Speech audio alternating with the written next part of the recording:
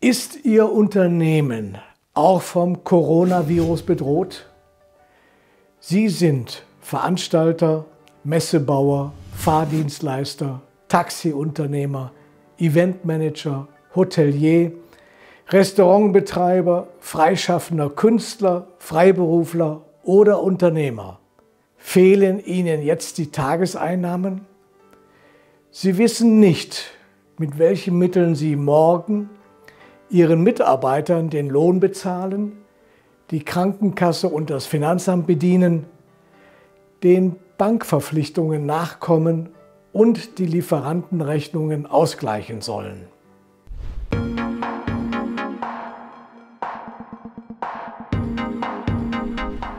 Ich finde für Sie Antworten auf diese Fragen, die Ihnen als Unternehmer in diesen Tagen besonders unter den Nägeln brennen? Mein Name ist Rüdiger Schmidt und ich bin Inhaber der Kanzlei Schmidt mit den Standorten in Leonberg, Stuttgart und Göppingen. Ich bin Rechtsanwalt und seit 1995 als Insolvenzrechtsexperte tätig.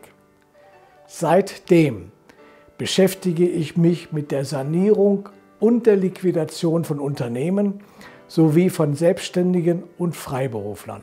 In meinem Video möchte ich Ihnen als von der Corona-Pandemie betroffener Unternehmer konkrete Hinweise und Hilfe an die Hand geben, sodass Sie mit einer Zukunftsperspektive den finanziellen Engpass überwinden.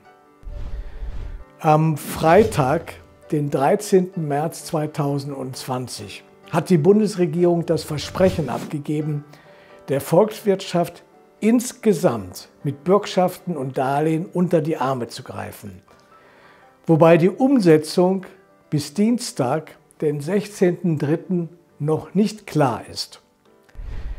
Die Corona-Pandemie ist auf dem Vormarsch. Sie alle kennen die Realität und die Details auf die in Deutschland unternommenen Maßnahmen der Behörden.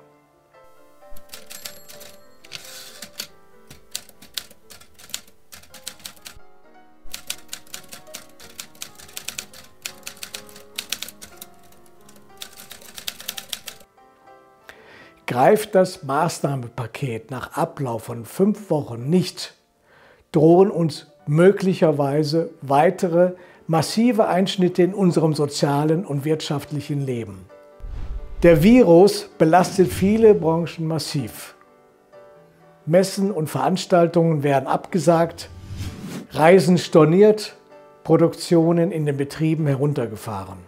Zum Erhalt der Leistungsfähigkeit der deutschen Wirtschaft gab der Bundeswirtschaftsminister Peter Altmaier in der Pressekonferenz am Freitag, den 13. März 2020, eine unbegrenzte Zusage nach oben an Unterstützungsmaßnahmen ab.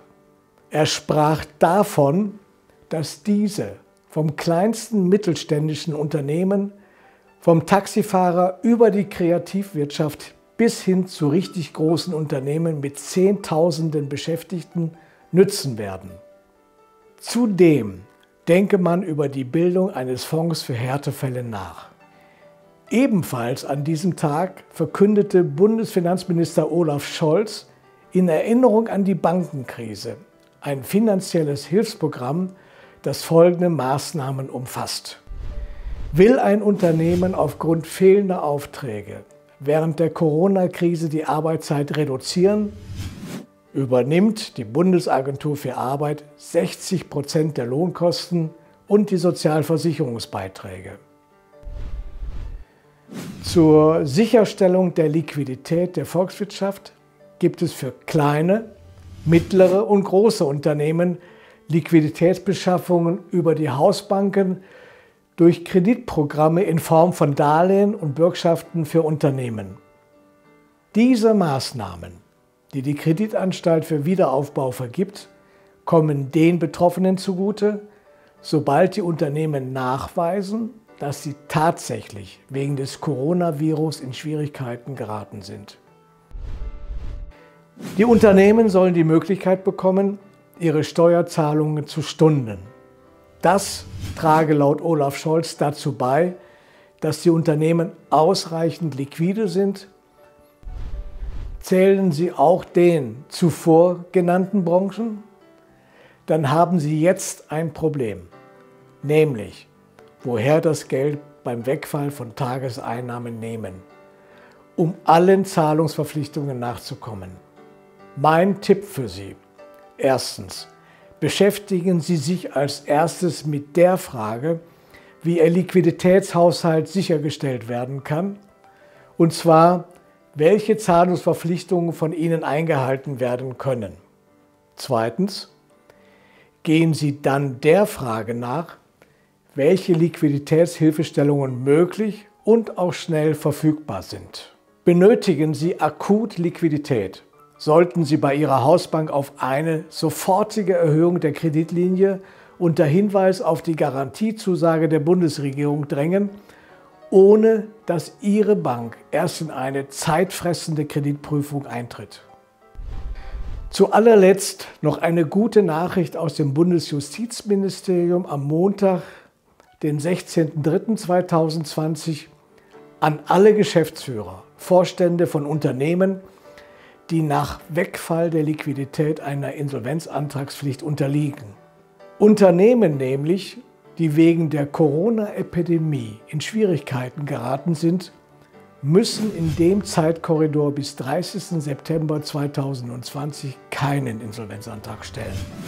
Wenn Sie jetzt noch eine Frage haben, dann schreiben Sie mir unter dieses Video einen Kommentar, den ich beantworten werde.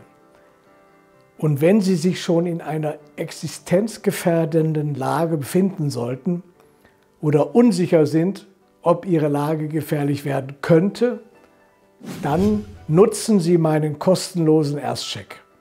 Sie können mir Ihre Frage aber auch über das Kontaktformular auf meiner Webseite stellen oder sie mir telefonisch stellen.